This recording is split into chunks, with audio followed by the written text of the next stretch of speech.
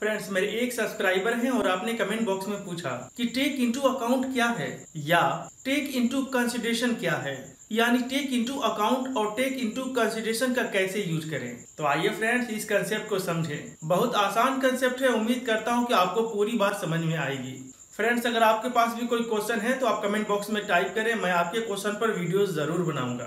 Friends take into account या take into consideration का use हम तब करते हैं जब हमको कहना हो कि किसी इंसान को या किसी चीज़ को नज़र में रखकर कोई काम करो।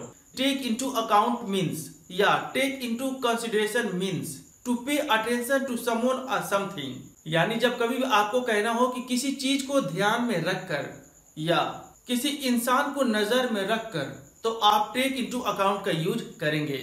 जैसे फ्रेंड्स अक्सर हमें अपने लाइफ में कहना होता है, मोटापे को ध्यान में रखकर तुम कुछ खाओ या, मोटापे को ध्यान में रखकर तुम्हें कुछ खानी चाहिए तो फ्रेंड्स इस बात को आप इंग्लिश में ऐसे कहेंगे taking obesity into account you should eat anything या फिर आप ये भी कह सकते हैं taking obesity into consideration you should eat anything यानी अपने मोटापे को नज़र में रखकर, अपने मोटापे को ध्यान में रखकर तुम्हें कोई चीज़ खानी चाहिए। फ्रेंड्स ये सेंटेंस तो हमें अक्सर अपने लाइफ में कहना होता है जब हम अपने बीवी के साथ मॉल में होते हैं। कि जब साथ में बीवी परचेजिंग करती हो तो ये सेंटेंस बोलना पड़ता है कि पैसे को ध्यान में रखकर या पैसे को नज़र में रखकर खरीदारी किया करो। तो फ्रेंड्स इस सेंटेंस के लिए आप कहेंगे taking money into consideration you should do shopping friends अगर आपको कहना हो, कोई भी बिज़नेस कानून को नज़र में रख कर करो यानी कोई भी बिज़नेस कानून को ध्यान में रखकर करो।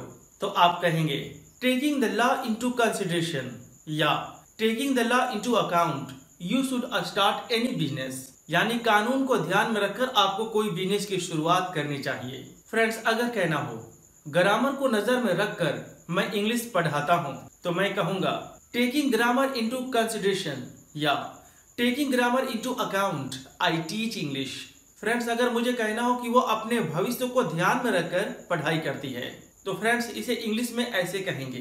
Taking her future into consideration या taking her future into account she does learning या सी स्टडीज़ फ्रेंड्स कई बार ऐसा होता है कि एग्ज़ाम के दिनों में हम कुछ ज़्यादा ही पढ़ने लगते हैं।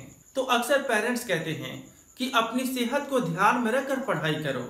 तो फ्रेंड्स अगर आपको कहना हो कि अपनी सेहत को ध्यान में रखकर पढ़ाई करो तो आप कहेंगे taking your health into account you should do learning या taking your health into consideration you should do learning यानी अपने हेल्थ को ध्यान में रखकर तुम्हें पढ़ाई करनी चाहिए।